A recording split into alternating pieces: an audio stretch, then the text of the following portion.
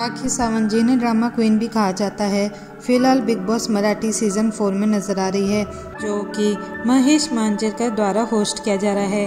हाल ही में उन्हें एक अलग ही रूप में देखा गया है जिससे देख लोग बोले कि ये चुड़ैल लग रही है। अक्सर ड्रामा क्वीन राखी सावंत अपने अतरंगी तरीकों से दर्शकों को अपनी तरफ़ आकर्षित करती रहती है। वो इस साल Bigg Boss Marathi season four का हिस्सा है। शो के नए प्रोमो में राखी सावंत को एक भूतनी के भेष में देखा जा सकता है। अब ये देखना बहुत ही रोमांचक होने वाला है कि अब राखी क्या नया रंग दिखाएँगी।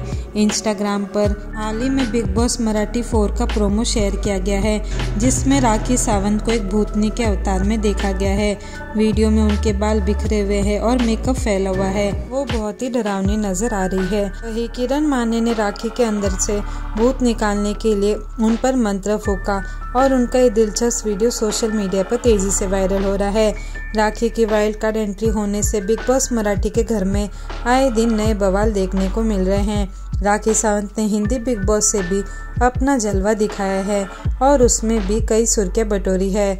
अब आगे ये देखना बहुत ही रोमांचक होने वाला है कि अब ड्रामा क्वीन राखी सावंत दर्शकों का मन बहलाने के लिए क्या क्या रंग दिखाएँगी। फ़िलहाल आपकी क्या राय इस खबर पर हमें कमेंट्स में ज़रूर बताइए।